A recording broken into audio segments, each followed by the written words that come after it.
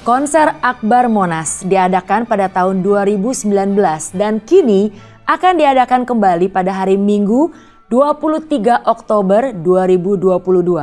Saya Leoni dan saat ini saya sedang bersama dengan pendiri dari Jakarta Oratorio Society, pendiri dari Jakarta Sinfonia Orkestra, dan juga seseorang yang telah mendesain gedung konser Aula Sinfonia Jakarta.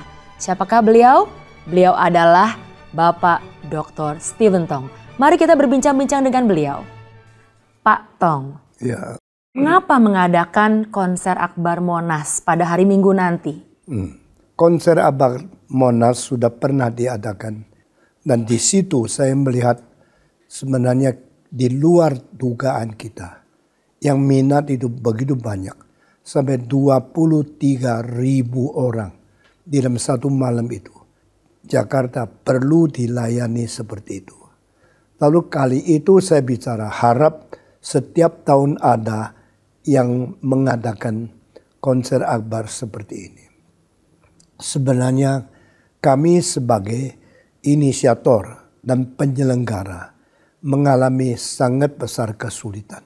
Ini adalah inisiatif karena cintanya terhadap rakyat Indonesia dan cintanya kepada seni yang bermutu tinggi.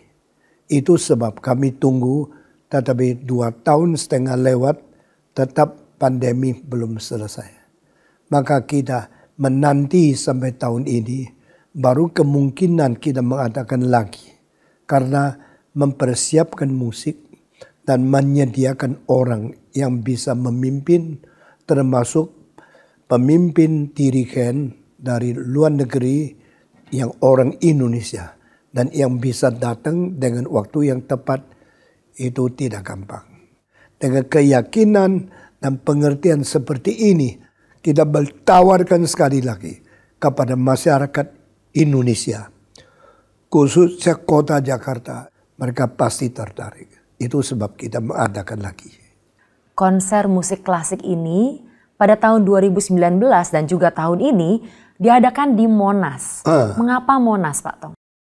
Monas adalah salah satu tempat yang paling besar di Indonesia yang mungkin menampung sebanyak mungkin manusia. Monas adalah public square yang terbesar di dunia. Orang Indonesia tidak tahu kita begitu diberkati oleh Tuhan. Maka tempat itu saya kira tempat yang mulai dipakai untuk konser akbar itu akan membuat Indonesia mulai sadar. Mereka mempunyai potensi untuk menikmati musik seperti itu. Konser Akbar Monas ini terbuka untuk semua orang dan tidak dipungut biaya. Hmm. Satu pertanyaan Pak Tong, mengapa tidak memungut Ya. biaya? Apakah kita ada uang baru kerja? Nah ini konsep cara kerja. Kalau tidak ada uang tidak kerja. Ada uang baru kerja. Itu very money market oriented. Justru seorang yang agung atau sesuatu masyarakat yang jiwa besar dia akan mencari kemungkinan memberi jalan kepada orang-orang yang tidak mampu tapi mereka boleh menikmati hidup. Jadi setiap bangsa ada musik yang sendiri.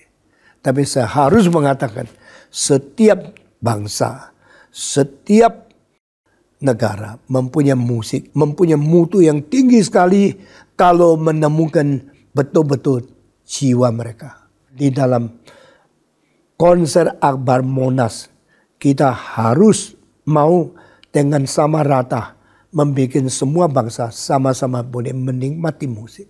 Itu sebab kita pilih dengan sangat teliti. Pilih dengan sangat sangat ketat supaya musik itu bukan mewakili satu agama saja atau mewakili satu bangsa saja atau wakili satu suku saja. Sebagai penutup, kalau Pak Tong bisa berbicara langsung kepada yang menyaksikan, apa yang akan menjadi ajakan Pak Tong untuk mereka hadir ke konser Akbar Monas? Saya bilang kita sama-sama manusia. Kita sama-sama dicipta oleh Tuhan. Dan kita sama-sama orang yang berkapasitas dan berdaya asli yaitu musik, seni, dan kita mencintai semua yang indah.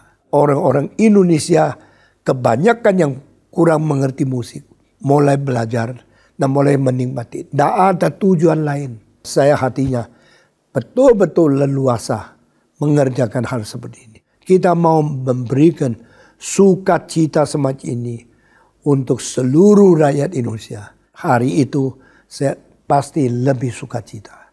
Dan saya harap kita kerjakan ini berapa tahun. Lalu bagaimana orang suka meneruskan, mari kita kerjasama. Ini kali pandemi baru selesai. Maka banyak kekurangan dan banyak keterbatasan. Dan semua ikut berdoa mendukung pekerjaan ini. Terima kasih saudara-saudara semua yang kami cintai di Jakarta. Marilah bertemu di Monas tanggal 23 malam. Tuhan memberkati kita sekalian. Amin.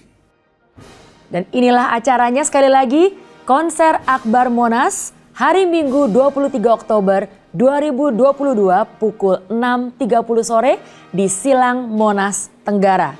Jangan lewatkan.